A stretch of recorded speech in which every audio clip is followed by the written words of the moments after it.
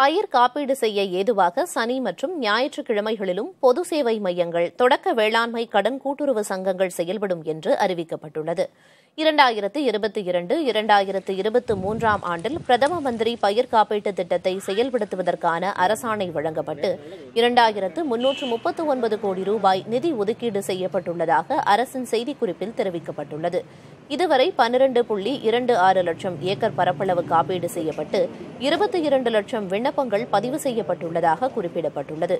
இந்த நிலையில் சம்பா நற்பயிருக்கான காப்பீடு செய்ய வரும் பதினைந்தாம் தேதியுடன் அவகாசம் நிறைவடைவதால் சனி மற்றும் ஞாயிற்றுக்கிழமைகளில் பொது சேவை மையங்கள் தொடக்க வேளாண்மை கடன் கூட்டுறவு சங்கங்கள் தேசியமயமாக்கப்பட்ட வங்கிகள் முழு வீச்சில் இயங்கிட உழவர் நலத்துறை நடவடிக்கை எடுத்துள்ளதாக தெரிவிக்கப்பட்டுள்ளது